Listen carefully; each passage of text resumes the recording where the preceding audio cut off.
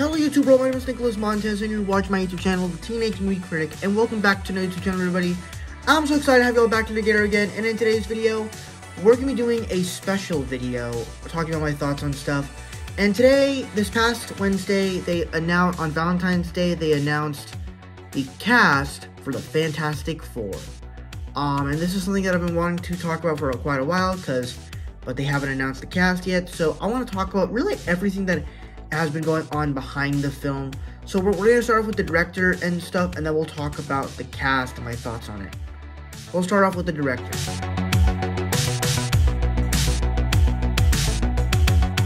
So my thoughts on the director, it's kind of interesting because the director has been changing from for many months, I mean for many years.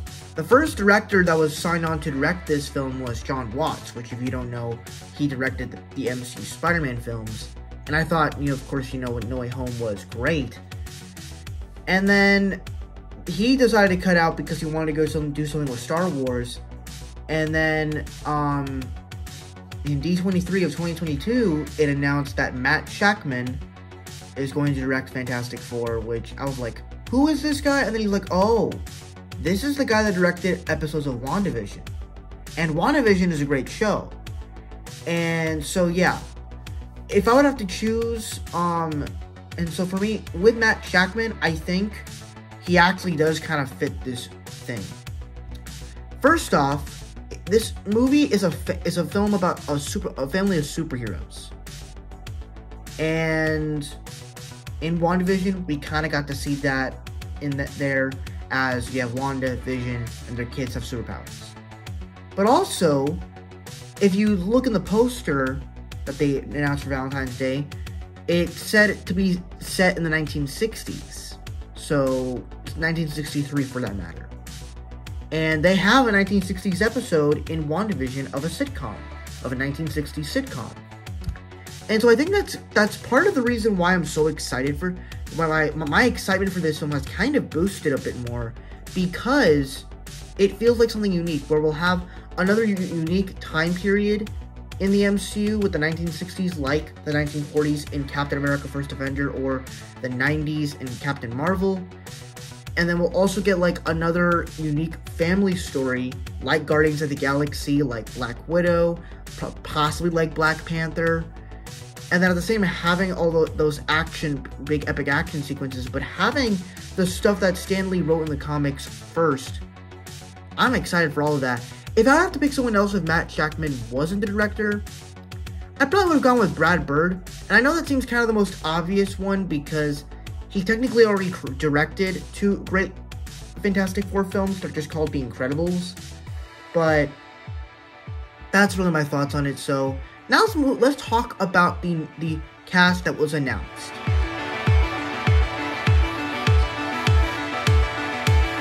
So the first cast we got is Pedro Pascal as Reed Richards, Mr. Fantastic.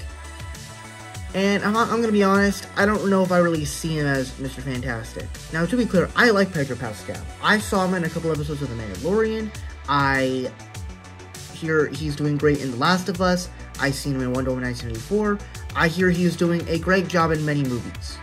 However, I'm not sure if I see him as Mr. Fantastic. Um, now, there is a thing that he put on the internet saying how he remembers his lines. I guess that makes it a little bit more interesting to see him play it, but I don't know. But other than that, I don't really, I don't know if I really see him. I, I just gotta maybe like see a test screen or whatever. I, and I probably need to see more of his roles to understand this pick. Um, but if, if I have to pick someone else, I actually would have gone with John Krasinski. I understand when he what played Mr. Fantastic in Doctor Strange 2, he was only playing it because the fans wanted to see it. But me, for me, I really loved, I really like the way he acts. Like, me personally, I saw A Quiet Place, and he's a great father. He's a great actor in that film, especially since he's playing in a thriller. Great, great actor. So I would have gone with John Krasinski, but unfortunately, did not get that. Next up, we have um, Sue Storm, being played by Vanessa Kirby. If you don't know, she was in um, the two last two Mission Impossible films. She was also in Hobbs and Shaw, and she was also in one of my favorite movies from last year, To the Sun. While she is a great actress, and she's also very pretty, I don't know if I would say, I, I don't know if I really see her as Sue Storm. That's gonna be the thing. I don't really agree with most of the casting decisions they decided for this film. Um, and especially casting someone like Sue Storm, played by Vanessa Kirby. Vanessa Kirby does not seem like that kind of person. I've never really seen her do good dramatic roles. All the characters that she really plays that I've seen her play just feel like they're just there.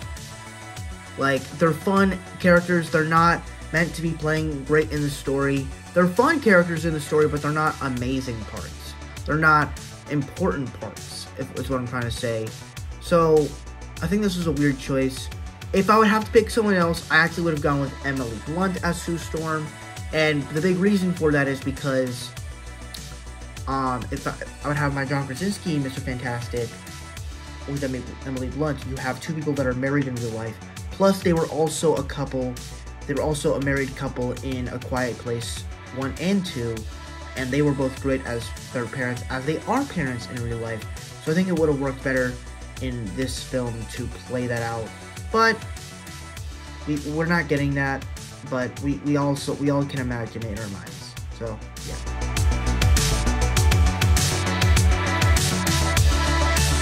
So this is actually the only casting that I would say is that I agree with. So you got Ebon Moss-Bachrach, who played the cousin in the two seasons of The Bear, and and he's playing Ben Grimm the Thing. And if I'm being honest, of all the castings, this is the only casting I agree with because he actually looks like a Ben Grimm, and he also seems like he this would what the thing would sound like and I have all high hopes for this guy um, because he, I saw a couple episodes of the, of the of the Bear. He's pretty great in it, so I'm actually really excited for this guy.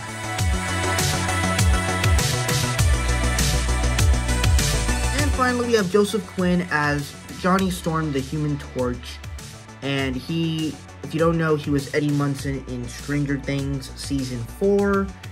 And me personally, I would say I liked this one. I get if if he didn't play Joseph Quinn, if he didn't play Eddie Munson and was this crazy ass lunatic, I don't know. If I would have to pick someone else to play Human Torch, I probably would have gone with like Zac Efron, more of the High School Musical version though, and then maybe or maybe Glen Powell because he seems a little bit young to do that kind of role. I don't know, but that's really my thoughts on the Fantastic Four cast. Uh, let me know what are your thoughts on the cast. Do you like it? Um, are you excited? And are you excited for the Are you excited for the movie more? And what what were your dream cast for the Fantastic Four cast? So yeah, that's my thoughts. Thank you guys so much for watching. I really hope you enjoyed. If you like, comment, and subscribe. All my social media stuff is in the box section down below, or whatever. I don't even know.